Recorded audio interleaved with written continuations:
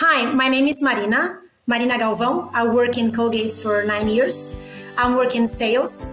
I guide meditation and also we started doing for the Colgate team in Brazil. We know that meditation also helps you to be more focused. You be more productive. So you're gonna work better, you're gonna feel feel feel better, and also helps you to breathe. We are very open to change, to seek what is best for our people and share experience. I mean, and I think that the great learning is that we can do it. We can change things. We can bring new things to the company, to your work, and also for your personal life.